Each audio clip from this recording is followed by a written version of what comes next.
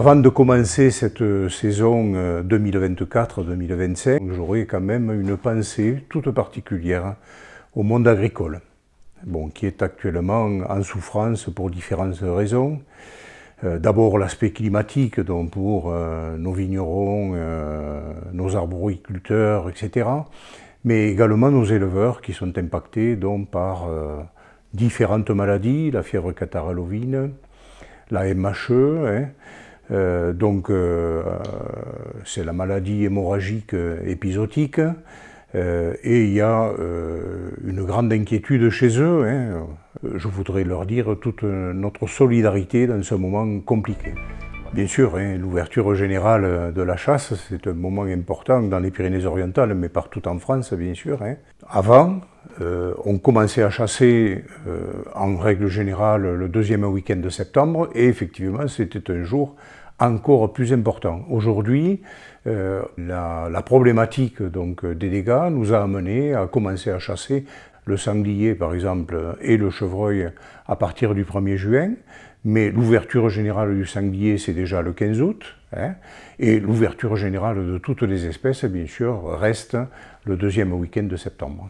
Alors, pour l'instant, les chasseurs sont au rendez-vous. Et ils ont cette euh, envie, cette grande envie de repartir dans la nature avec leurs compagnons fidèles euh, ou pour euh, participer à des battues. ils sont au rendez-vous. Il faut reconnaître une chose, c'est qu'il est très favorable à certaines espèces et il modifie les comportements, donc essentiellement au niveau du grand gibier. Sur le petit gibier, ce réchauffement climatique donc, est très favorable. Hein, d'une façon globale.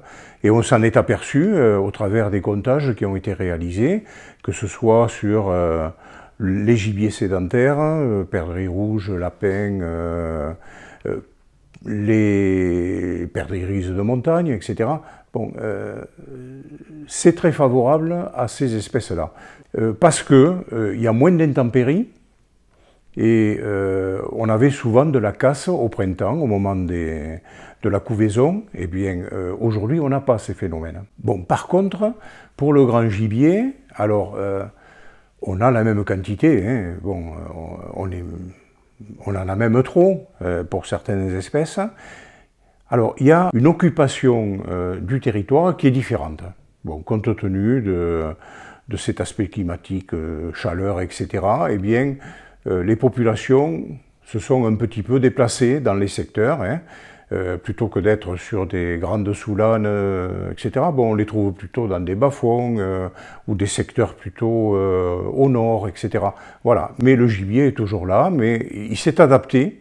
Il s'est adapté. Et puis, euh, lorsqu'il n'y a pas de neige, bien sûr, il a tendance à rester un petit peu plus en altitude. Voilà. Donc il s'est adapté à, ce changement climatique. Et les chasseurs doivent s'adapter. Hein. Euh, on revoit un petit peu dans les équipes, euh,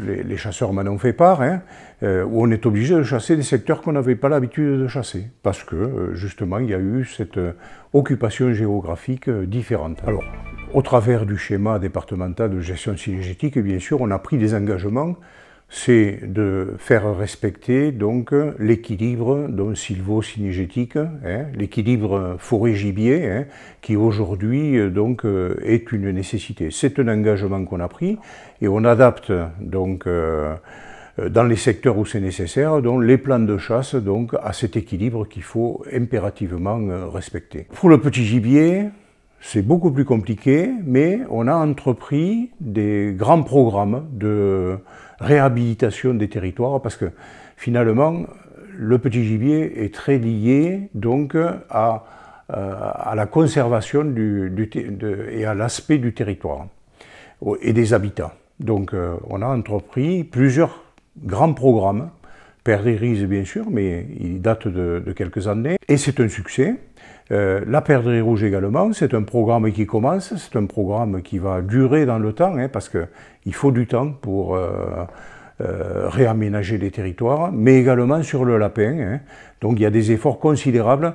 On sait que ce sont des, programmes à moyen terme. Quand je dis moyen terme, on commence à percevoir l'efficacité de ces aménagements entre 3 et 5 ans. Avant de prélever, on veut savoir où en est l'habitat, ce qu'il y a sur le terrain et ce qu'on peut raisonnablement prélever. Euh, c'est très clair, hein, et on le leur dit, la fédération ne peut pas tout faire. Donc euh, on est obligé de s'appuyer sur des équipes motivées, euh, sur des territoires et sur des projets donc d'aménagement, de, réimplantation, etc. Voilà. Mais sans cette participation des chasseurs, effectivement, c'est euh, une autre vision de la chasse. Hein.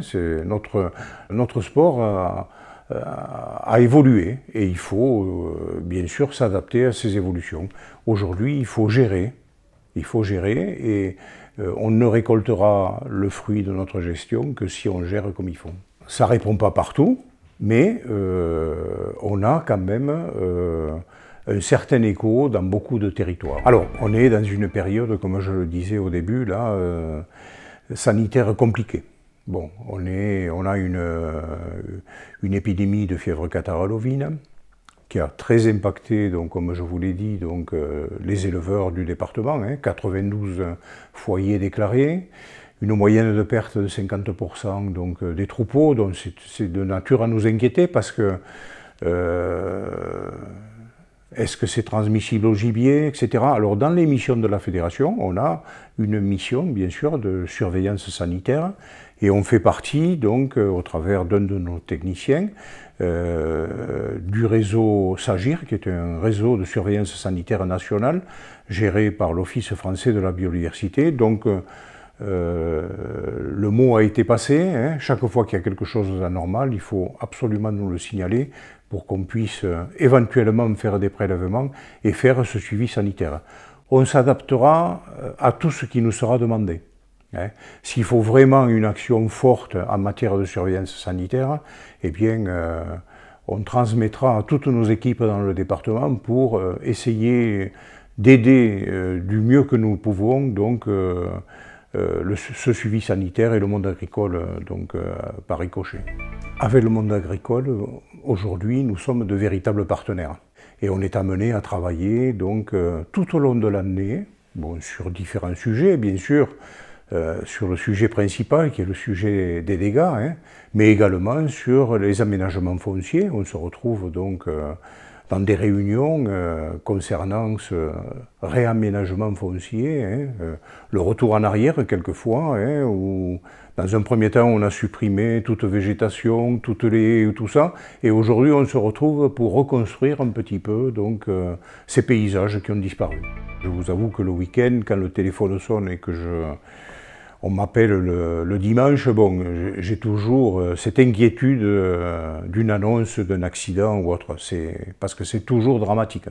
Un accident, c'est toujours un accident de trop. En plus, la saison, et le président Willy Schramm euh, nous l'a rappelé dans un message juste avant l'ouverture, hein, un mois d'ouverture, donc depuis le 15 août, 15 août deux accidents mortels. Alors, certes, il y a eu un, auto-accident, quelqu'un qui, s'est tué, mais aussi il y a eu le non-respect d'une règle élémentaire en matière de sécurité. Donc, on engage, et dans nos réunions préparatoires à notre Assemblée générale, on, engage les équipes donc à passer euh, cette formation décennale qui, a été rendue obligatoire par la loi chasse de 2019. Hein. Euh, et il va y avoir, et il va y avoir, euh, le module est en train de se finaliser, une formation au niveau des chefs de battu, président bien sûr, mais chefs de battu et chefs de ligne donc en matière de battu. Parce que c'est surtout dans les battues qu'on a euh, la majorité des accidents à 70-80%. Donc voilà. Donc c'est notre préoccupation numéro un. Hein, euh, c'est un rappel hein, permanent qu'il faut faire. Euh, ce que nous demandons aux chefs de battu, c'est tous les week-ends de répéter la même chose pour que ça finisse par rentrer. On ne peut pas accepter donc qu'une règle élémentaire de sécurité ne soit pas respectée. Heureusement, dans les Pyrénées-Orientales, c'est vrai qu'il y a très longtemps qu'on n'a pas eu euh, d'accident mortel. Il y a eu quelques incidents, euh, quelques blessés légers, etc. Mais on n'a pas d'accident mortel depuis, euh, ça doit faire donc 10 ou 15 ans à peu près qu'on n'a pas eu d'accident. Ce n'est pas le cas pour d'autres départements et je plains les, présidents de Fédé qui ont, qui ont dû assumer donc, un accident mortel parce que c'est dramatique dans une fédération. Alors, même si on a réduit les accidents à leur plus simple expression, hein, euh, on est passé d'une trentaine d'accidents il, y a 30 ans euh, à 6 accidents, 6 accidents mortels. Donc il y a un effort considérable qui a été fait. Mais un accident, c'est toujours un accident de trop. On doit respecter les autres activités de nature. C'est pour ça d'ailleurs qu'on a passé des conventions euh, avec la, fédération départementale de, randonnée pédestre, mais aussi la fédération régionale. Donc, et le mot c'est pédagogie pédagogie, respect, euh, information. Quand on rencontre quelqu'un, quelle que soit son attitude, il faut lui expliquer ce qu'on fait, pourquoi, euh, comment on pratique, où se passe la chasse, leur expliquer aussi qu'on n'est pas euh, dans ce secteur dans lequel ils se promènent tous les week-ends. je prends l'exemple euh, d'une intercommunale que je, préside. Il y a des, secteurs qu'on fait euh, trois fois par an.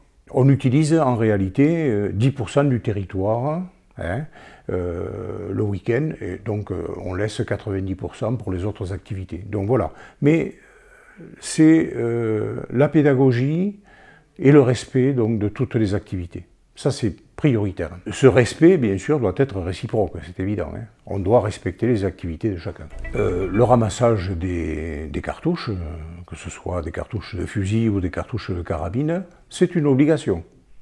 Aujourd'hui, euh, si sur le terrain, un agent de l'Office français de la biodiversité vous observe et vous voit tirer trois cartouches, quand il vous contrôle, il faut que vous lui donniez les trois étuis.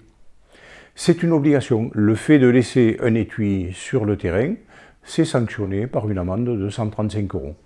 C'est clair. Voilà. Donc, on a mis en place donc, euh, des points de collecte pour euh, les cartouches de fusil et un point de collecte à la fédération pour les étuis donc, euh, de, de carabine. Nous avons une convention avec les petits doudous de, l'hôpital de Perpignan. Ils viennent récupérer ces étuis, ils les vendent au profit, bien sûr, euh, de l'amélioration donc des enfants qui sont hospitalisés. Euh, c'est une opération à laquelle on tient. Euh, il faut continuer, voilà. Il faut respecter la nature. Je pense que, d'une façon générale, le chasseur est très respectueux et très attentif à ce qui se passe dans la nature. Les jeunes chasseurs, parce qu'on a quand même des jeunes chasseurs. Hein. Bon, il y a un certain nombre de permis qui se passent tous les ans. Tous les, candidats au permis de chasser ne sont pas jeunes, mais euh, la majorité quand même euh, sont des chasseurs qui sont prêts à s'investir hein, et vivre avec leur territoire. Hein. Ils ont vraiment euh, cet esprit de gestion euh, peut-être plus que nos anciens qui ont vécu sur euh, un certain capital ont, dans lequel ils ont puisé d'ailleurs pendant de nombreuses années. On ne s'était jamais posé la question sous cette forme-là à l'époque. Nos équipes à la fédération, dont leurs métiers ont changé, hein, parce qu'on a dû adapter donc, nos actions, donc, parce que la chasse a évolué et il faut évoluer avec elle. Hein. On a une des pratiques euh, les plus encadrées, hein, qui est euh, pratique de terrain qui est, qui les plus encadrée. Bon, euh, voilà, c'est du travail, mais toutes les équipes sont au, top à ce niveau-là. Eh bien écoutez, moi il me reste qu'à vous souhaiter une excellente saison de chasse, comme d'habitude.